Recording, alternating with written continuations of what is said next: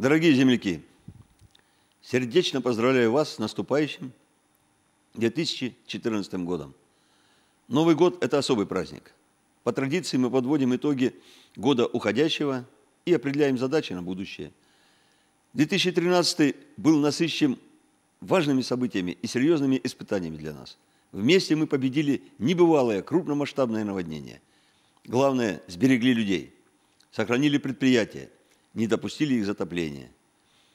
В условиях чрезвычайной ситуации провели самую масштабную в стране избирательную кампанию.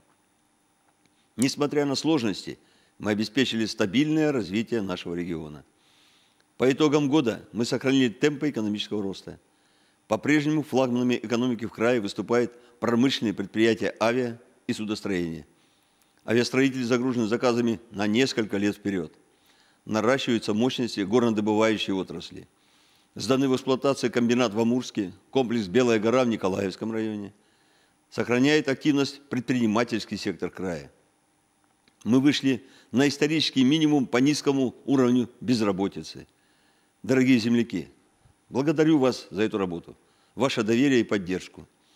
Хорошие результаты дали возможность выполнить все социальные обязательства. В крае строятся школы и детские сады, современные медицинские центры, спортивные сооружения. Выросли новые микрорайоны жилья. Только в этом юбилейном году сдано более 40 новых объектов. Мы повысили заработную плату работникам бюджетных учреждений.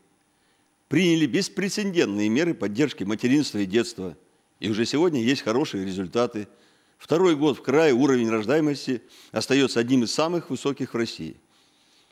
Президент страны Владимир Владимирович Путин – официально на государственном уровне заявил, что приоритетом 21 века является развитие Дальнего Востока и Сибири.